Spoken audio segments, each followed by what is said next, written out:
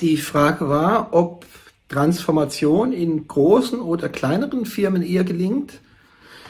Spannende Frage, ähm, die aber eine ganz klare Antwort hat. Ähm, in Konzernen dauert es immer länger und ist komplizierter. Also ich habe ja als Restrukturierer sehr viel mit Transformationen zu tun, weil das Geschäftsmodell angepasst werden muss, weil die Strukturen umgebaut werden müssen, ähm, weil man was modernisieren muss.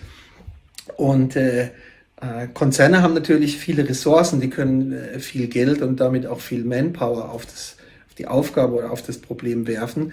Aber oft sind die, die äh, Entscheidungswege unendlich lang und es spielt viel zu viel Firmenpolitik dort mit.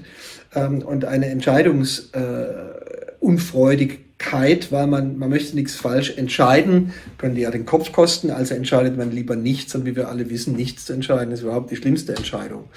Ähm, im, im, Mittelstand, speziell im Inhabergeführten, äh, sind Entscheidungswege viel kürzer. Ja? Wenn der Inhaber sagt, äh, bin ich überzeugt, machen wir, dann kann man das umsetzen. Und natürlich sind 250 Mitarbeiter leichter mitzunehmen auf eine Veränderungsreise als äh, 10.000 Mitarbeiter. Ähm, die Herausforderung im Mittelstand ist nur, und ich sage das mit allem Respekt, dass äh, oft äh, bei Inhabern oder Geschäftsführern eine gewisse Beratungsresistenz da ist. Äh, ich verstehe das auch, warum das so ist. Das ist nämlich deswegen so, weil ein, ein Gründer, der ein Unternehmen über 40 Jahre aufgebaut hat, er hat ja was richtig gemacht und zwar offensichtlich recht viel. Sonst wäre er nicht erfolgreich und das Unternehmen wäre nicht da. Ähm, und äh, da wird oft nicht die Notwendigkeit empfunden, äh, plötzlich eine Veränderung zu implementieren. Warum? Weil bisher hat es ja geklappt. So, jetzt wissen wir aber, vergangene äh, Performance ist ja keine Garantie für die Zukunft. Die Zukunft ist immer ein bisschen anders, äh, manchmal besser, manchmal schlechter, aber garantiert immer anders als die Vergangenheit. Und äh, äh insofern ist natürlich auch aus der Sicht des Mittelständlers Veränderung ein Risiko, weil ich soll was verändern. Da habe ich keine Erfahrung mit. Das kann klappen, es kann aber auch nicht klappen.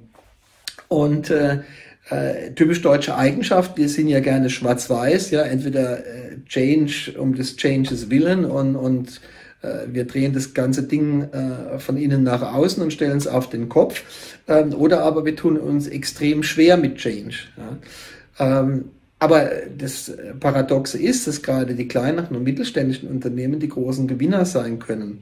Ja, vor, es gab ja schon vor, vor 10, 15 Jahren mal den Spruch, dass in Zukunft nicht mehr die Größe zählt, sondern dass der kleine Agile, ja, auch so ein Schlagwort, agil, dass der kleine Agile den großen, schwerfälligen Dinosaurier von rechts überholen kann. So.